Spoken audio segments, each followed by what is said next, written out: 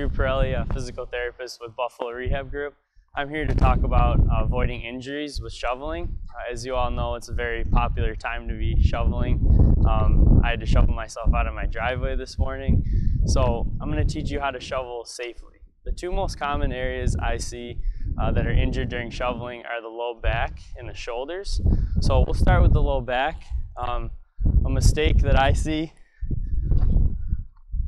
is anything with the low back flexing forward.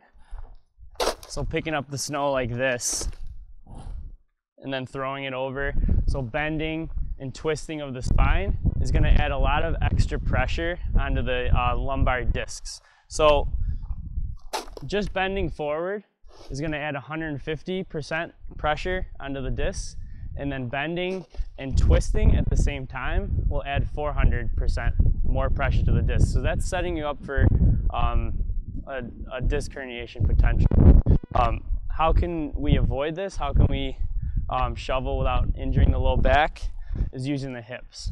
So getting into a stride position here, bending at the knees, keeping a neutral spine, picking up the snow, and then sliding and throwing it forward using the hips will really protect the low back. The hips are nice and strong, so try to use those to save your back. Another area we see injured are the shoulders.